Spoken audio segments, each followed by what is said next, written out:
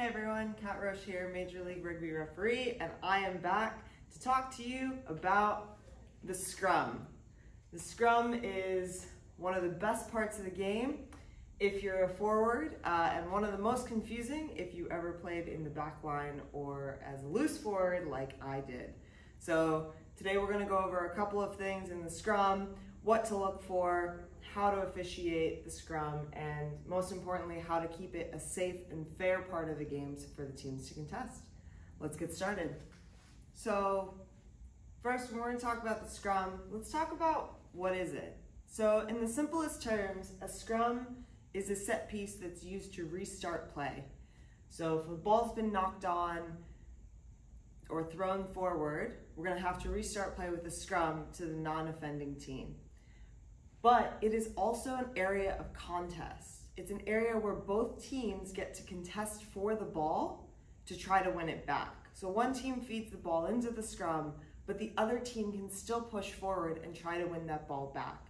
So when we're remembering the scrum is a restart, yes, but there's a lot more to it than just putting the ball in, getting the ball out, and carrying on with the fun, exciting stuff. And we've got to keep the scrum fair and contestable for both teams. What's our number one priority at the scrum? Well, try to answer that yourself, but it's actually one of our number one priorities in the game as a whole, safety. We've got to keep the players safe, particularly in the scrum when we can have up to a thousand pounds on either side pushing into each other. You've always got to keep your number one priority safety. So that being said, if you ever have an infringement or a scrum or the scrum is no longer safe, blow your whistle. It doesn't matter if you don't know what to do next, you don't know who the infringing team was, blow your whistle, get the players safe, and then reset. No one is ever gonna fault you for trying to keep players safe. So don't put the pressure on yourself to get everything right, but remember our number one priority is always safety. Okay, so we've covered what a scrum is and the number one priority. So now we're gonna get into it. How do you set up a scrum, have a fair contest, and make accurate decisions? Well, it all starts with the setup. There's four main parts of the setup, and we're gonna go through each one. So part number one is alignment. First thing we're gonna do is make sure that everybody at the scrum is aligned in exactly the same, the right channel they should be, so they're not head on head. All right, so the first part of a scrum setup, we're gonna talk about alignment. This is getting every prop in their own channel so that when we set together, we don't have any head on head. What do I mean by that? Let's talk about it. We've got three people in the front row from each side. Your loose head prop, your hooker, and your tight head prop. So on the opposite side, it's same but reversed.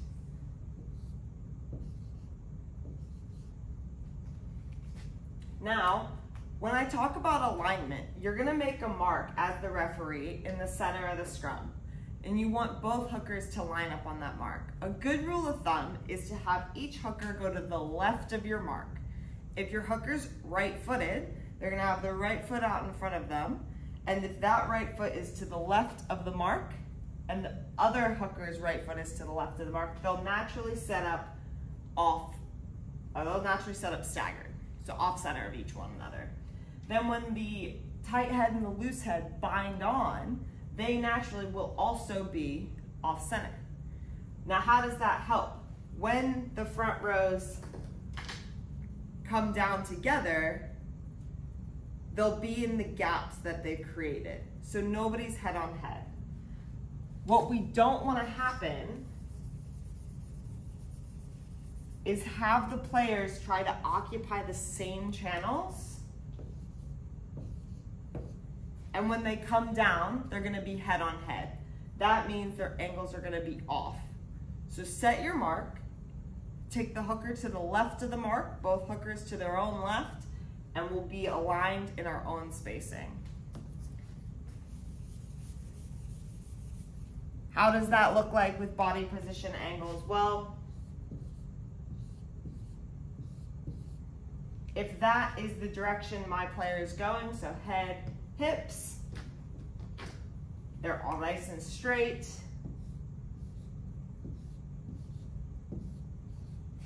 And they're all, not that much space, but they're all in their own gaps as opposed to head on head. That is what we don't want. That is what we do want. And that's gonna be your alignment. Now that we've covered alignment, we're gonna move into the next part of the setup. Space. So now everyone's aligned. Let's make sure that they've got the correct spacing so we're not too far apart or too close together. All right, we are on to space. So we want space between our front rows. How much space is enough space? Well, you're gonna kind of let the front rows dictate that for you. If you've got a nice stable scrum and the front rows are happy with the space, if, even if you think it's too much, but you're getting a good outcome, that's fine. But if you think there's too much space and you're not getting a good outcome, you're not getting a stable scrum, then, then move them closer together and get less space. Why would a front row want more space? Because then they can really lean forward and get the hit on and put the other front row under pressure. The closer you keep them together, the less low to the ground they're gonna be able to get on that initial hit. So the closer together they'll be, theoretically, the more stable your scrum will be, but you'll also not be letting them contest the way they want to. So when we're looking for space, if that's the angle of my prop from the red team, so head, hips, knees, feet. Excellent. Going against.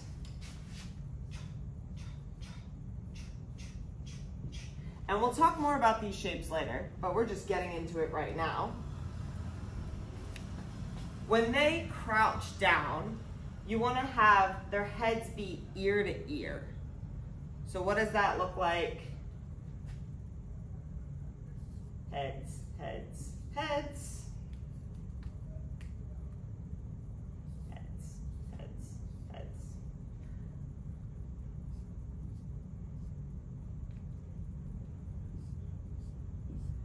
So when they crouch down, their heads are all ear to ear, spines nice and straight. This is what our picture is gonna look like. Now, if there's too much space, you could still get this picture theoretically, but one of these players could be overextended. And if you're gonna have a player that's overextended to show you that picture, you're not gonna have a very stable scrum. Likewise, if you have not enough space, then when that player crouches down, they're gonna be all crunched up and you don't want that either. So you wanna have enough space that you've got really strong body positions from your props when their heads are ear to ear on that set call. And that's how we talk about space. Awesome. Now that alignment and space are dealt with, we're gonna go into the next step, stability. Everyone's set up in their own channel. We've got the correct spacing. Are they stable? We are into stability. We love a good, stable scrum. But what does stability really mean? When I think of stability, I think that every player in the scrum has control of their own body weight. So my triggers are the feet aren't moving and they're not leaning into the other front row. So they can maintain their body weight and shape by themselves. So we all know a lovely engagement sequence in the scrum. You've got the crouch. On each call, what I'm looking for is stability. So on the crouch, you'll have the second rows readjust. Crouch, your front rows adjust a bit, Great, they've got their positioning, they're all settled, your second rows adjust.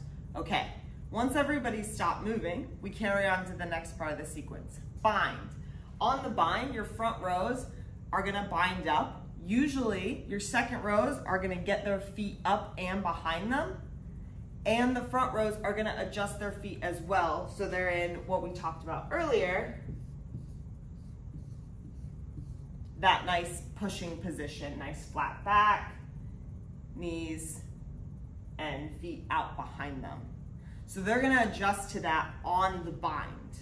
Now you wanna wait for all of that to happen before you move on to the set because there's a lot of forces changing in the scrum. As they're doing that, second rows are changing, flankers are tightening their binds, the eight's coming up as well. Okay, so crouch, everybody's set, second rows adjust, bind, front rows put their feet back, they're binding up onto the opposition, Make sure they're not leaning in head on shoulder. You're gonna get some, some kind of engagement, but what you don't want is the full engagement so that there's no change between bind and set. You don't want that. And you don't want this prop putting weight onto the other, the opposing front row. And again, you can see that when this person's gonna be in a bit of a compromised position before you even set. And we'll get into positions again, as I said, but if you're gonna have this before you've even set the scrum, you're having an issue. Because before the set, everyone should look as good as they've ever had. So,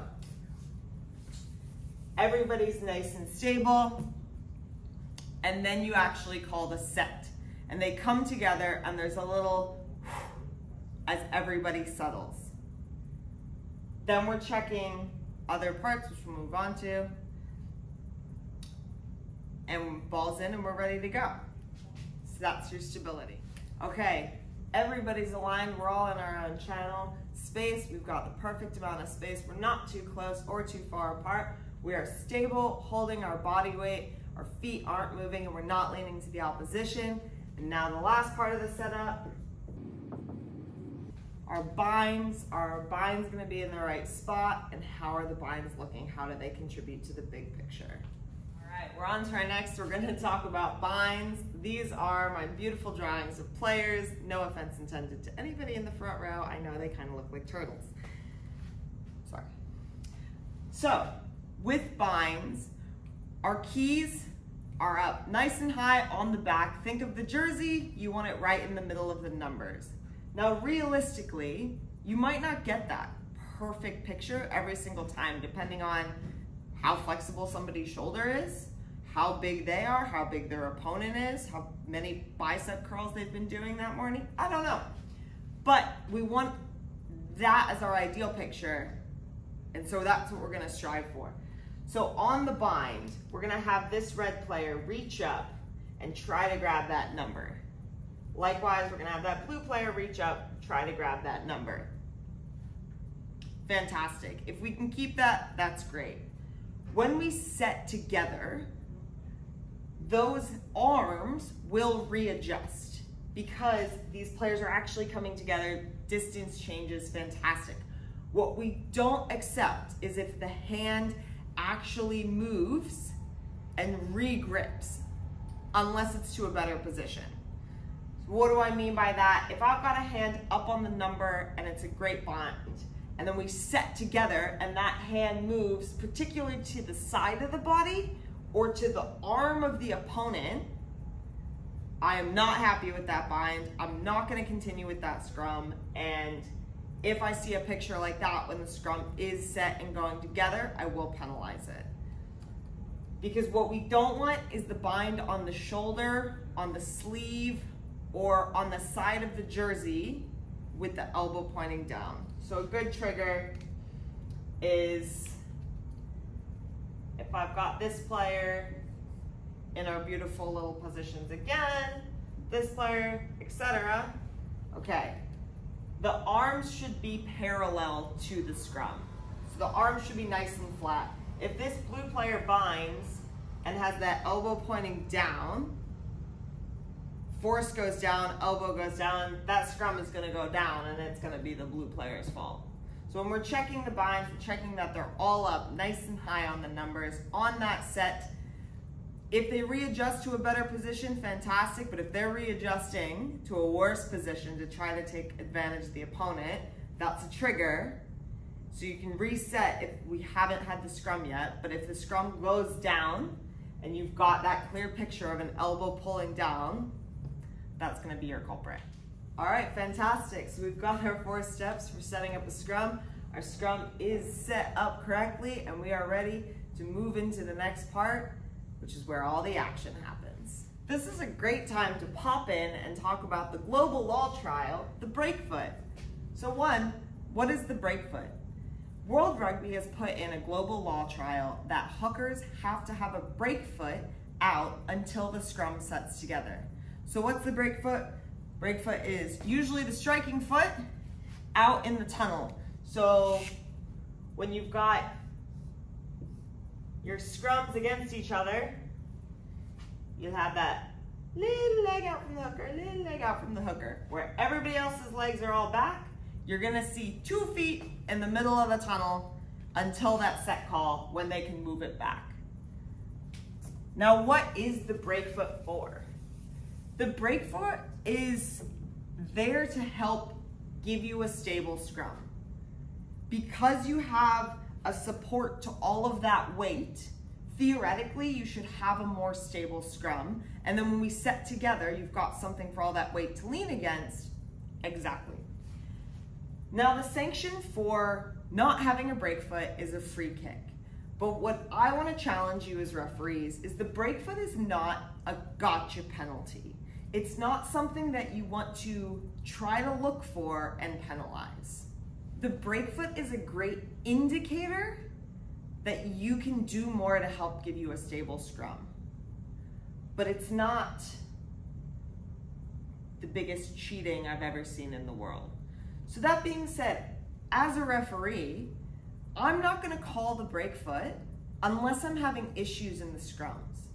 If my scrums aren't stable and I've done all of my tips and tricks and I've tried to make sure the space is good, the alignment's good, and I really can't get that stability, the break breakfoot could be a great indicator. I'll go to the hookers, make sure you have your break breakfoot fully out until that's set. That could fix all of my problems.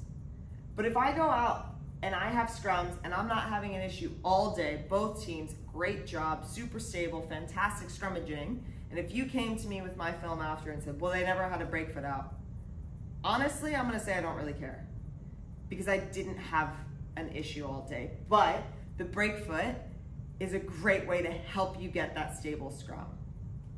So, love a good global law trial. I love what the break foot is doing, but I'm not gonna go out there and hunt for people that don't have their break foot because if they're still giving me a good stable scrum, happy days, play on. Okay, so we've hammered the setup of a scrum pretty hard. Why? I think it's the most important thing because if you set up a scrum well, you've set yourself up for the best possible opportunity to have good scrums. And if there are infringements, you've made it really easy to spot them because you've made everything really nice and clear so pictures that are wrong will stand out. So you set the ball, crouch, bind, set. Your scrum has come together. Once that ball is in,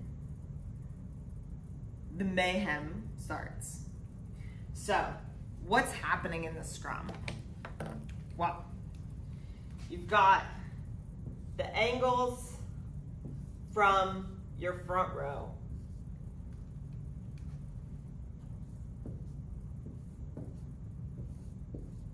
And we're really gonna start with all the front row bits. We will get on to some of the back row bits but, and I say this from the deepest part of my heart as an eight, they don't really matter. This is where you're gonna get some of your biggest pictures. There are other things that can happen, but if you can really nail what's happening in the front row, you'll look like you know what you're doing at scrums. Convince yourself you know what you're doing at scrums. So this is a perfect picture, nice spines, all driving straight. What can certain players do in the scrum to mess it up? Well, we could have a tight head angling in. Totally the theoretical thing for that to happen. So as you see, the spine will then be angled in. The hips will flare out. You could even have a step out. And that tight head is gonna be driving in on that hooker. So your hooker and your tight head are essentially just trying to beat up the opposition's team hooker.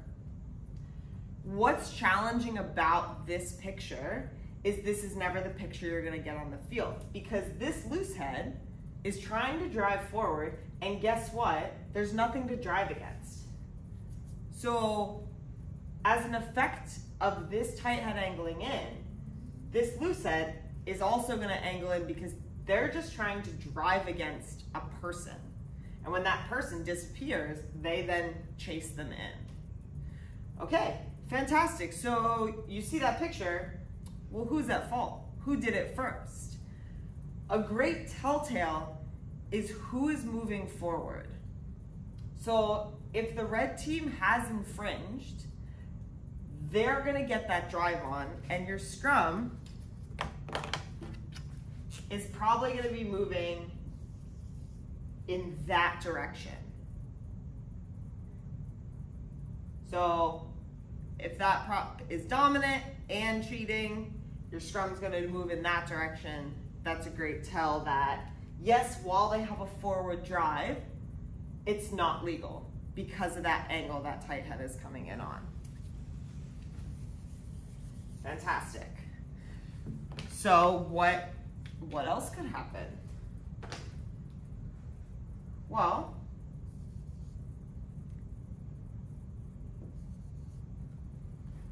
you could theoretically have a loose head who wants to drive in. Now this is a really challenging thing for a loose head to do because they're trying to angle in the strongest part of the scrum because the tight head is scrumming against two people versus the loose head is just scrumming against one. So for them to completely flare their hips out and try to drive in, it's a big challenging ask, but totally doable. So if your loose head's gonna drive in on the tight head, the tight head is gonna do very similar to what they did before. They're also gonna get angled in because they're under pressure. But where's the scrum going? Well, likely it's going this direction because this is the menace that's causing the problem. This tight head under pressure could pop up because they have nowhere else to go because this hooker's driving forward, this tight head's driving forward and in, so they're gonna go up, down, they're gonna get out however they can because they're under a lot of pressure. But which way is the scrum driving? Might be a good indicator. Again, none of this is 100% because while they're doing whatever they're doing, we've got the same crap going on on the other side. And then you add in that you've got 500 pounds of locks driving through this hooker in this front row, a lot of things can happen. So what I'm trying to give you today is just ideas of what pictures could look like. So, well, this is all very well and good. You just told us it could be a lot of things. I absolutely did. I'm a referee. What do I look for in a scrum to help me make decisions? I look for really good pictures and I reward those. So I'm gonna look this red front row. Now a good picture for me is if this red front row has a good drive forward. But I wanna make sure these spines are in line the entire time. If these spines are nice and straight and the shoulders are all out and the scrum is moving forward, well, I'm gonna say they've done everything right. And if something happens, it's gonna be the blue team's fault because they're showing me a perfect picture. So I go out in the field to reward perfect pictures, not to penalize bad pictures. So instead of looking for bad pictures, I look for good pictures. And if I see good pictures, I know those bad pictures are on the other side if an infringement happens. All right, so that's a bit about angles in the scrum. Let's talk about the difference between driving up and standing up. We're gonna go back to our body shapes. There was our ideal body shape for a prop.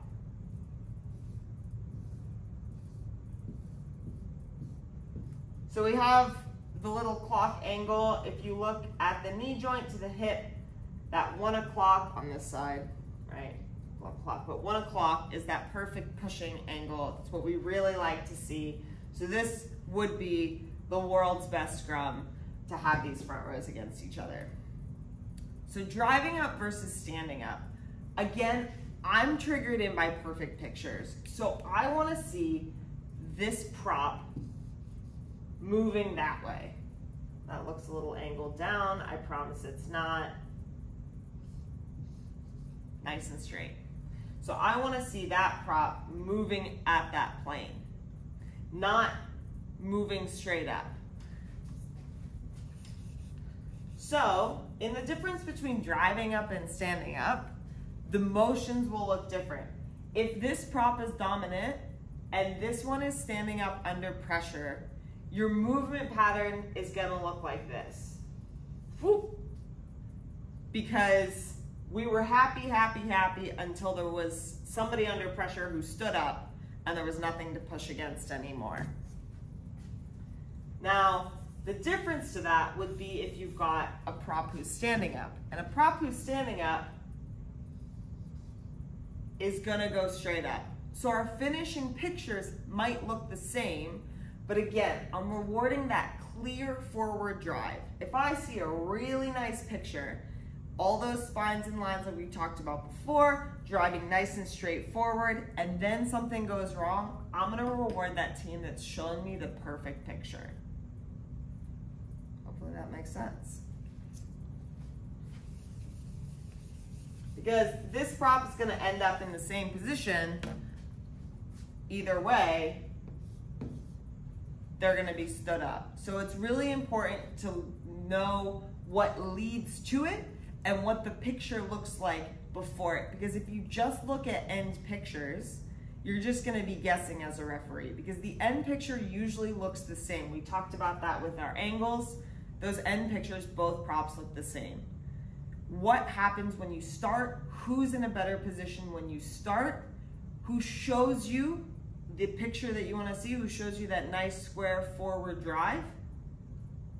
And then that will tell you who's the one not showing you a great picture at the end.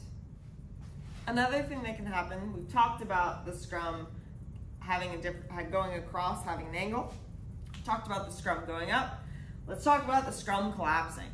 So a collapse scrum happens all the time. I'm guilty of it as well. You just kind of poke the balls at the back so you can play away. But remember, we talked about the scrum being a contest. We talked about the front rows and the forwards really wanting to show their dominance and contest for that ball. So I'm gonna give you a couple of tricks of what could happen on a collapse scrum. So you've got this nice middle line. This is where you've set your mark and each team is on their side of the line. The middle line is also a great indicator if you've got what we call overleaning, and that'll happen in the bind. Overleaning will happen when the teams come down in the bind phase.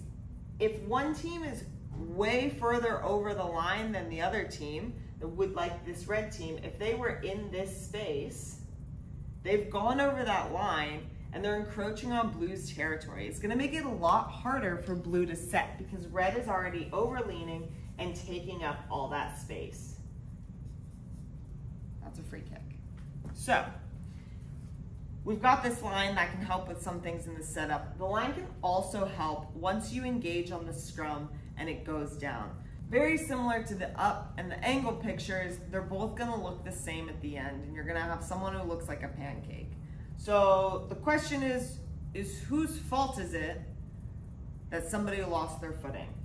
Again, we're looking for these really strong angles. If one player is maintaining these angles, it's probably not their fault. So what could we have?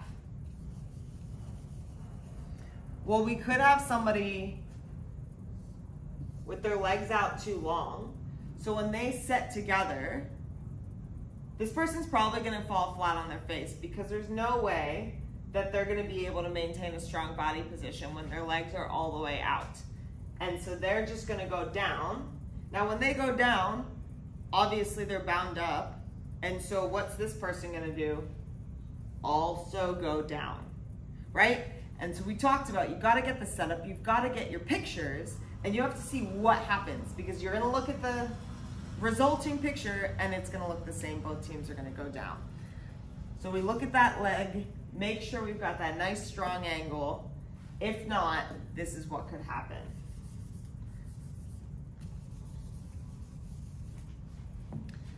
Now what if we have too short of an angle, somebody bent and all engaged up? Well, they're gonna have a really hard time getting the core strength to engage and drive across. So on the engage, what's likely to happen is this person's gonna crumble up and they're gonna fold in and go down. Now when they fold in and go down under pressure, they're gonna be taking away space, which means this person is gonna overextend and pancake. So resulting picture, they're gonna look like a pancake. Now we just said pancake guy was at fault the other time. Why is, why is pancake guy not at fault this time? A trick, and I got this from JP Doyle, so if you don't like it, don't blame me, it's him, is looking at this line, is who won the gain line. If I have everyone set up with a lot of really nice space here, and I'm seeing this bad picture from red. Red is gonna fall back on their side of the gain line. Blue is gonna go over the gain line and end up pancaking over here. So blue's over the line because it's red's fault that they came down. Now remember, this all depends on if we've got that really good space because if blue was over leaning and goes down, it's gonna be the same resulting picture. So that's why it's really important to make sure you've got a good setup. Likewise,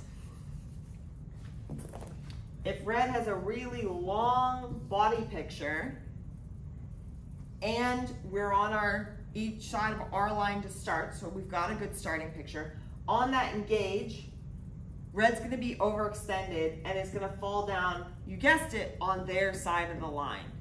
Because they're overextended, they don't have anywhere else to go. Blue, likewise, is gonna end up falling down over on the other side of the line because red has just fallen back. Because they're already fully extended, they're just gonna poop down. And so blue's gonna have that little bit of space as well. So whose fault is it? Who's got the worst body position? A key might be, if you've started and gotten that good space, is who's over the line. Who's over the line has probably won that space and is probably not at fault. But in the scrum, there's no guarantees.